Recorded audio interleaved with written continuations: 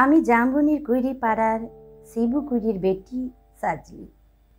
কাগজওয়ালারা বললে "উম, অতটুকু বললে হবে কেন? তুমি এবারকার মাধ্যমিকে প্রথম তোমাকে বলতে হবে আরও কিছু। টিভিওয়ালারা বললে তুমি খ্যাত মজুরের মেয়া তুমি কি করে কামিন খাটে মাধ্যমিকে প্রথম হলে সেটা তোমাকে বলতে হবে খুলে? পঞ্চায়েতের অনিবদি প্রধান, উপপ্রধান, এমএলএ, এমপি একেবারে হামলি পড়ল আমাদের মাটি কুড়া ঘরে। জাম্বুনি স্কুলে হেডমাস্টার কোন বিহান বেলায় টিনের আগুর খুলি হাঁকে ডাকে ঘুম ভাঙাই খবরটা যখন প্রথম শোনালে তখন মাকে জড়ায় শুয়েছিল মামি। কুড়া ঘরে খুটখুটটা অন্ধকারে।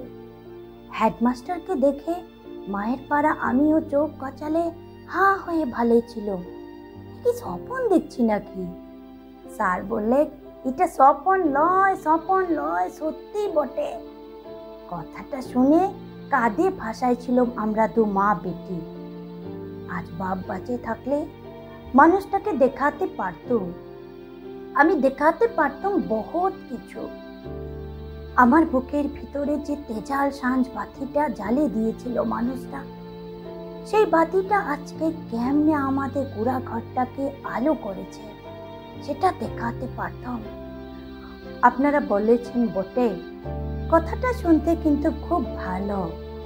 তোমাদের মতো মেয়েরা উঠে আসে, তাহলে আমাদের গোটা দেশটাই উঠে আসে।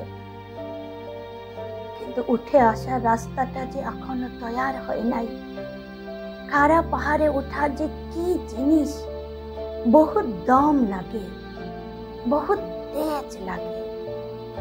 আমি জাম্বুনির শিবুকুড়ির বিটি সাজি। যখন তাকে হুশ হয়েছে, তখন তাকে শুনে আসছে, বিটি নয়, মাটি। ঠাকুমা বলতক, পরের ঘরে হেসাল ঠেলবে, তার আবার লিখা পড়া গায়ের বাবুরা বলতক, তুই কুড়ি পাড়ার বিটি ছিলা। তোর তো কামিন খাটা ছাড়া গতি কি?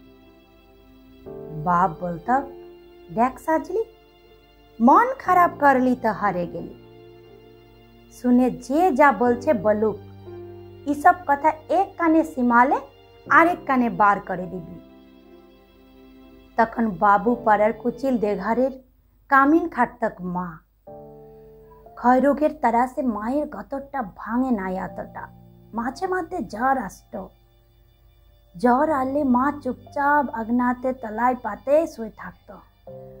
মনে আছে সেদিন এক ঝাড়কালের সকাল। রোদ উঠেছিল ঝলমলানি ঝিঙ্গাপোলা রোদ। আমি সে রোদে পিঠ দিয়ে পা দোলাই পড়ছিলাম ইতিহাস। ক্লাস সেভেনের সামন্ত রাজাদের ইতিহাস। দেঘরাগিনী লোক পাঠাইছিল বার কতক, মায়ের জ্বর। সে তারা শুনতে নাই চায়। আমাদের দিদি বুড়ি তখন বাঁচে। কলতলায় বসে ছেঁড়া কম্বল, মুড়ি দিয়ে বিড়ি ফুকছিল বুড়ি। শেষ কথা বুড়ি সেদিন পড়া থেকে উঠাই মায়ের কাজটুকুন করতে পাঠাইছিল বাবু ঘরে। করোনা ফটক ঘেরা উঠান, কত বড় দর দালান, কত বড় বারান্দা, সব ঝাঁট পাট দিয়ে সাফ সুতরা করে আসছিল চলে দেখার কিন্তু নাই ছাড়লে এক গাদা একটা ঝোটা বাসন আমার সামনে আগ্নে আন্দি দিল। বলতাম, তোমাদের ঝোটা বাসন আমি ধুইতে নাই পারব। বাবু গিন্নি, সে কি রাগ? কি বললে? আরেকবার বল দেখলি যতটুকু মূল হয় তত বড় কথা। জানিস, তোর মা, তোর মায়ের মা, তার মায়ের মা। সবাই আমাদের ঝুটা বাসন ধুয়ে অতকাল গুজারে গেল। আর তুই কি বললি? ঝুটা বাসন ধুতে না লাগবি বললাম হ তোমাদের ঝুটা বাসন আমি ধুতে লারব তোমরা লোক দেখে লাও গা, আমি চলবো। কথাটা বলে গট গট করে বাবুগিনীর মুখের সামনে আমি বেড়াই চলে আইছি তা বদলিয়ে সে কি কাণ্ড, সে কি ঝামেলা। বেলা ডুবলে মহাজনে ধান কাটে বাপ ঘরকে আলে। দু পাতা লেখাপড়া করা লাতনির ছোট মুখে বড় থুতির কথা। সাতগহন বলে দিয়েছিল দিদি মা কোনো রাহ করে নাই। আঘান মাসেন বেলা আগনাতে আগুন জ্বালে গা হাত পা সেকছিলাম মা। এক মাথা ঝাঁকড়া কালো চুল ঝাঁকানো বাপের পেটানো পাথরের মুখটা ঝলকে উঠেছিল আগুনের আঁচে। বাপের অমন চেহারা আমি কোনো দিন দেখি নাই। বাপ সেদিন মা আর দিদি বুড়ির সম্মুখে আমাকে কাছে ডাকে, আমার মাথায় হাত বুলিয়ে গম গমা গলায় বলেছিল, যা করেছিস, বেশ করেছিস। শুন, তোর মা, তোর মায়ের মা, তার মায়ের মা, সবাই করেছে কামিনগিরি। বাবু ঘরে গতর খাটাই খাইছে। তাতে হয়েছেটা কি? এই কথাটা মনে রাখবি।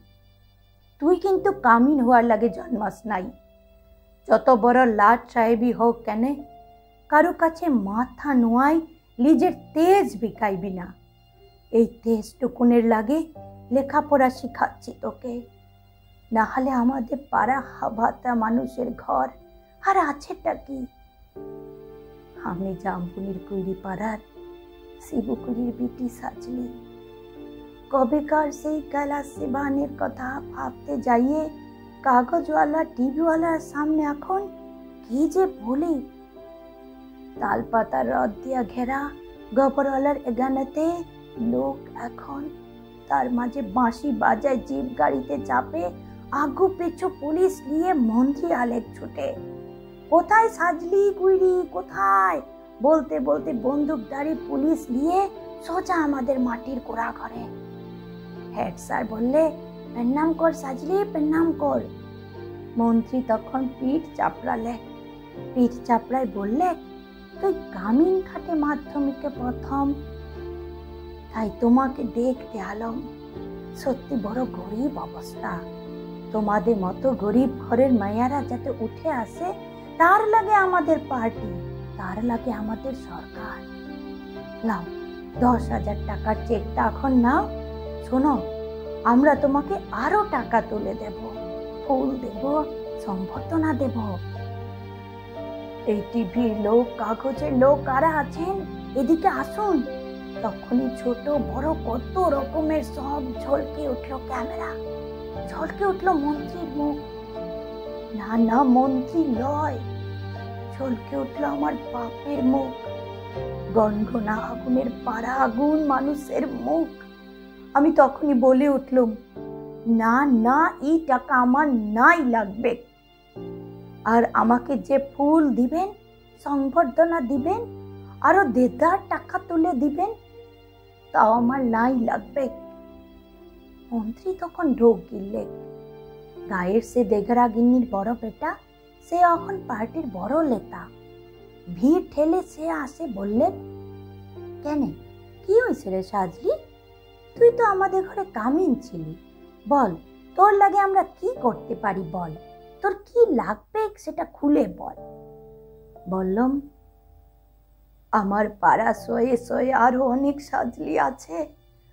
আরও শিবকুড়ির বিঠি আছে গাঁ গ্রামে। তারা যদিন অন্ধকারে পড়ে থাকবে, তারা যদিন লেখাপড়া লাগে কাঁধে বলবে তদ্দিন কোনো বাবুর দয়া নাই লাগবে। তদ্দিন কোনো বাবুর দয়া আমার নাই লাগবে। নাই লাগবে কোনো বাবুর দয়া।